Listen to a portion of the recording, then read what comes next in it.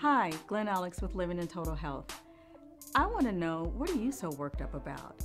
What stresses you out? You probably think stress is a bad thing, and sometimes it can feel that way. Stress, however, is a normal part of human life, and stress is any demand that life places on us. Those demands can be traffic, those demands can be getting married, which in most cases is a positive thing. It can be graduation, those events require extra time and energy than we normally put out. So stress is more demand on our time and energy and mental capacities than usual.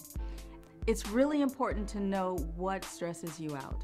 It's also important to know what your stress reactions are. Do you overeat? Do you not eat? Do you oversleep?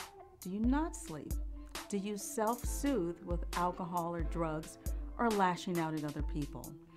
So all of those things do bleed into total health because they affect our physical health, our energy, our mental abilities, our focus, our relationships. Yes, our relationships.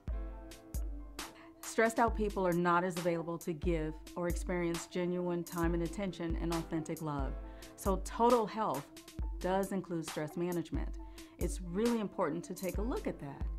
When you feel overwhelmed, what do you do? What can you do differently to have a healthier, better outcome and be there and more available with the people around you?